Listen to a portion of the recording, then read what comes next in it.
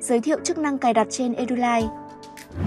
Trên Edulite, từ thanh công cụ phía trên cùng bên phải, chọn nút biểu tượng bánh răng cài đặt.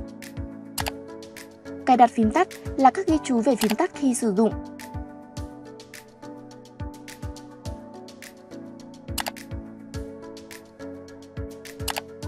Cài đặt slide sử dụng để cài đặt các thông tin cơ bản và nâng cao cho slide.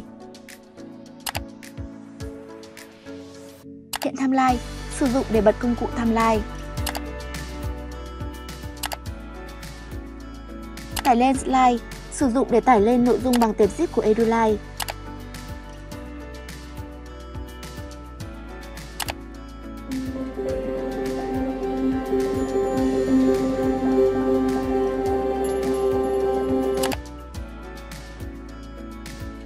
Tải lên PowerPoint, sử dụng để đăng tải lên nội dung bằng tệp PowerPoint.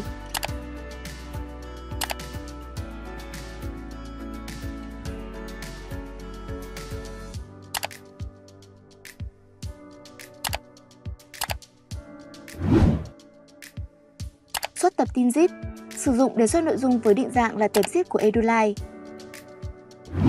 Xuất tệp tin PDF, sử dụng để xuất nội dung với định dạng là PDF. Mong bạn có những trải nghiệm thật tuyệt vời trên nền tảng Eduline. Eduline